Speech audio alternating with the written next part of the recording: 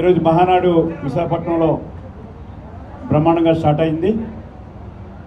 గౌరవ ముఖ్యమంత్రి గారు అధ్యక్షన ఈ మహానాడు కార్యక్రమంలో తీర్మానాలు ఇప్పటి వరకు కూడా ఏడు తీర్మానాల్లో పెట్టడం.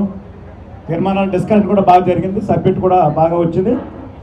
అలాగే రేపు కూడా రేపు తీసేసి ఎన్టీ రామారావు గారి పుట్టినరోజు సందర్భంగా రేపు ఉదయం ఏడున్నరకి విశాఖ జిల్లా తెలుగుదేశం పార్టీ ఆఫీసులో విగ్రహం ఓపెన్ చేసిన తర్వాత కార్యక్రమం తొమ్మిది గంటలు స్టార్ట్ అవుద్ది. అందరూ కూడా రేపు కూడా యోగ పురుషుడికి అంటే ఎన్టీ రామారావు గారికి నివాళులు అర్పించి తర్వాత మళ్ళీ తీర్మానాలకు వస్తాయి.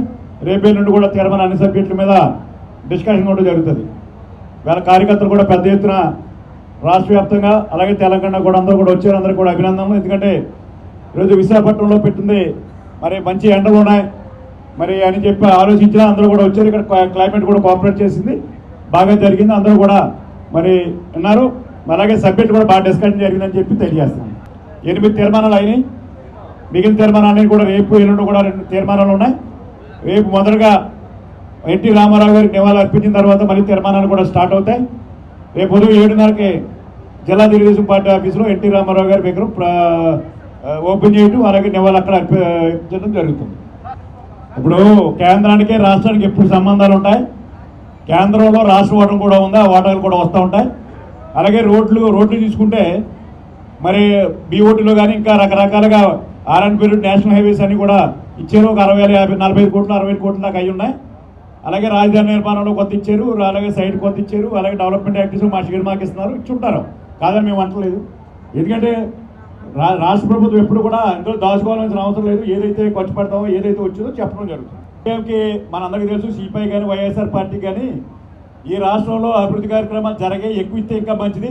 ఇవ్వాలి తేవాలని చెప్పి దెబ్బలాడవలసిన పని ఉందా? ఎందుకంటే వచ్చిన కేంద్రం ఇచ్చిందని చెప్పి మరి ఏదో చూడటం కాదు. ఇంకా ఎక్కువ వచ్చేలాగా డిమాండ్ చేయండి. మాకు కూడా ఎక్కువ వచ్చి ఇంకా ఈ రాష్ట్రం కూడా అభివృద్ధి చెందుతుంది.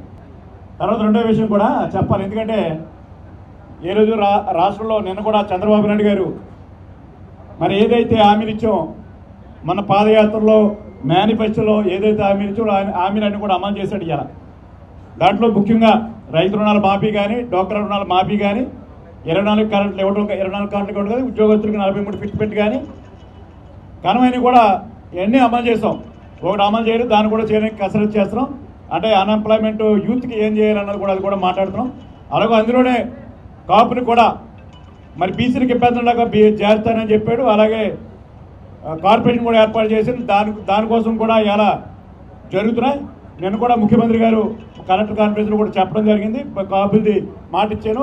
రిపోర్ట్ వచ్చిన చేస్తానని చెప్ప చెప్పడం జరిగింది. కానీ ముద్రగడ పద్రామం గారి సంగతి మన అందరికీ తెలుసు. ఓ నెలకోసారి సమావేశం పెట్టి ఒక లెటర్ పదిహేను రోజులకు ఒక లెటర్ రాసి ఇవాళ ఈ రాష్ట్రంలో జరుగుతున్న కార్యక్రమాలు కానీ కాపుకి న్యాయం చేయడానికి ముఖ్యమంత్రి గారు తీసుకున్న నిర్ణయం కానీ డిస్టర్బ్ చేసే విధంగా ఉంది. ఎందుకంటే మేము చేస్తామని చెప్తున్నాం.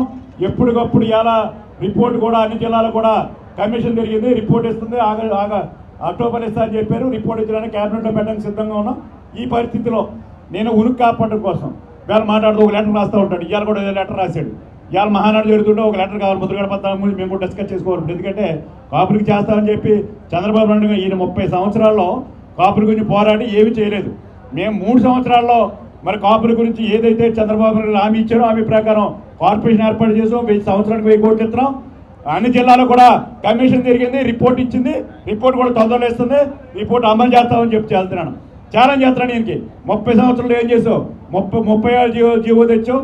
ఆ జీవో ఎందుకు కాకుండా పని చేయకుండా పోయింది. కానీ మేమైతే చిత్తశుద్ధితో పనిచేయడానికి సిద్ధంగా ఉన్నాం. మేము చెప్తున్నాం. రోజు కూడా పది మీటింగ్లు కూడా చంద్రబాబు నాయుడు చెప్తున్నాం చేస్తామని చెప్తున్నాం. నీ కంగారు ఆగ ముప్పై సంవత్సరాల ఆగలేనుడు ఒక సంవత్సరం ఆరు నెలలు మూడు నెలలు ఆగలేని పరిస్థితి నీకుంది.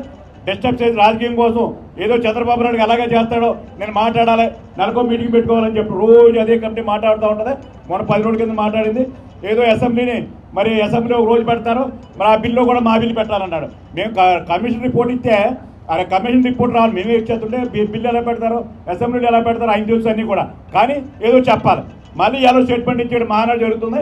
ఈ మహానాడు కూడా ఏదో చెప్పాలని చెప్తే మళ్ళీ చంద్రబాబు నాయుడు కూడా ఎకరా రాసి ఇరవై ఆరు నుంచి ఏదో నేను చేస్తాను ఇరవై చేసి చేస్తాను రాజధానికి వెళ్తాను అన్నాడు. రాజధానికి వెళ్ళి పర్మిషన్ పెట్టడం మేము మేము పర్మిషన్ ఆయన పర్మిషన్ కూడా కాగితం పెట్టడం మనం చూసాం చాలాసార్లు చాలాసార్లు పాదయాత్ర చేస్తాడు పర్మిషన్ పెట్టుకుంటే పర్మిషన్ పెట్టుకుంటే ఇచ్చే ప్రసక్తి లేదని చెప్పి తెలియజేసుకుని రాజకీయ డ్రామా ఇదంతా కూడా చంద్రబాబు నాయుడు ఎలాగ చేస్తున్నాడో నాదేదో నేను నా ద్వారా వచ్చిందని చెప్పి అనిపించడం ప్రయత్నం కానీ ఆయన చెప్తే మేము ఇవ్వం. చంద్రబాబు నాయుడు గారు మాత్రం కాపురికి ఏదైతే మాట్లాడారో మాట కట్టుబడి ఉన్నామని చెప్పి తెలియాలి. అవుతుందమ్మా ఇలా ఒక కార్యక్రమం ఆ అనుమానం లేవు అనుమానం లేవు. మేము ఎప్పుడు ఖచ్చితంగా డిస్కస్ చేస్తాం కమిటీ కూడా తిరిగింది. కమిటీ కూడా మీరు అందరూ చూస్తారు అక్టోబర్లో ఇస్తారని చెప్పారు. ఇస్తారు రిపోర్ట్ ఇస్తారు ఒకటి నెల రే రేట్ అవ్వచ్చు ముప్పై సంవత్సరాలు జరగండి నేను చేస్తాను కాపురి కోసం అని ఎదురుకొచ్చి చంద్రబాబు నాయుడు చేస్తుంటే చంద్రబాబు నాయుడు తిడితే ఎలా చేస్తాడండి? ఈయన చెప్తే చేస్తాడా? ఈయన చెప్తే ఏం జరగదు? చంద్రబాబు నాయుడు చెప్పాడు కాపురి కోసం హామీ ఇచ్చాడు పుత్రగడ పత్రాన్ని గురించి చెయ్యం మేము. కాపురి కోసం చేస్తాం కాపులు కాపులకి ఏదైతే హామీ ఇచ్చాడో హామీ అమలు చేస్తాం. ఒక కమ్యూనిటీని మార్చాలంటే ఒక కమిషన్ వేయాలి కమిషన్ రిపోర్ట్ ఇవ్వాలి క్యాబినెట్ ఆమోదం చేయాలి కేంద్రాన్ని పంపాలి. ఆ ప్రాసెస్ అంతా జరగకుండా అసెంబ్లీలో చట్టం జరగాలి పార్లమెంట్లో చట్టం ఎలా జరుగుతుంది? మీరు ఏదైనా ఏదైనా కానీ ఏదైనా మరి కమిషన్ రిపోర్ట్ రాకుండా ఎలాగిస్తాం కమిషన్ రాకుండా కొట్టుపాడేస్తారు అవన్నీ తెలుసు మీకు అందరికీ మాట్లాడాలి మాట్లాడతారు.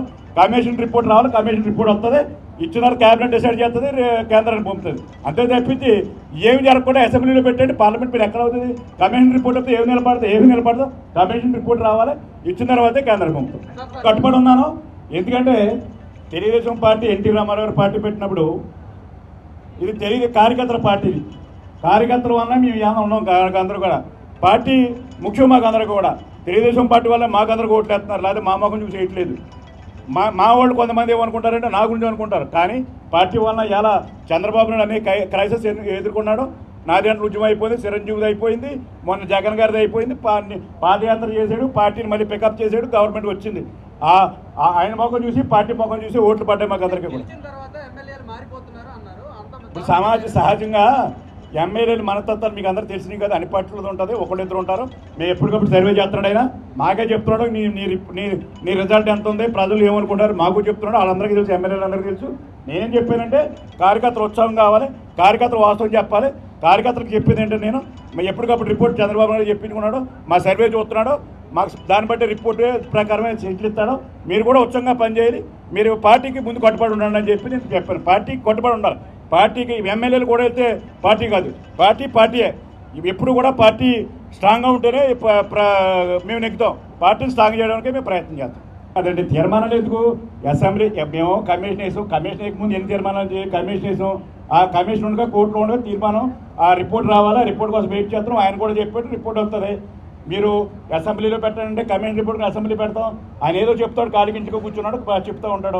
అవన్నీ కాదు కదా వాస్తవ పరిస్థితులు ఉన్నాయి. వాస్తవ పరిస్థితి దగ్గరగా మనం పనిచేయాలి. మేము వాస్తవ పరిస్థితి దగ్గరగా పనిచేస్తాం. ఏదైతే రూల్ ఉన్నా రూల్ ప్రకారం వెళ్తాం. మీరు సత్తు చూస్తూ కాపులకు న్యాయం చేయాలి బీసీలకు ఇబ్బంది లేకుండా చేయాలని ఉద్దేశంతో మేము పనిచేస్తాం